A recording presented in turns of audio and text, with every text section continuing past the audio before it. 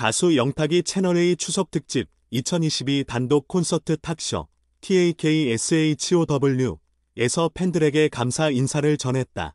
채널A는 1일 오후 추석 특집으로 지난해 펼쳐졌던 영탁의 전국 투어 2022 단독 콘서트 탁쇼 이하 탁쇼를 방송했다.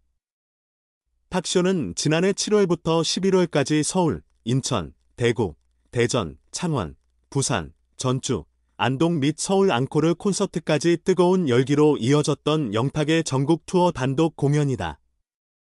영탁은 이날 방송에서 탁쇼를 시작하기 전을 회상하며 이 일정을 내가 소화를 할 수 있을까? 잘해야 될 텐데 하는 책임감과 부담감도 상당했다. 라고 전했다.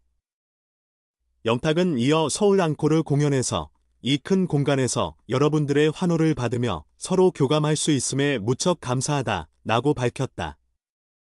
콘서트 오프닝 곡을 마친 영탁은 관객들에게 전국 투어 일정을 잘 소화할 수 있었던 건 여러분 덕분이라며 감사 인사를 올려 현장의 함성을 이끌어냈다.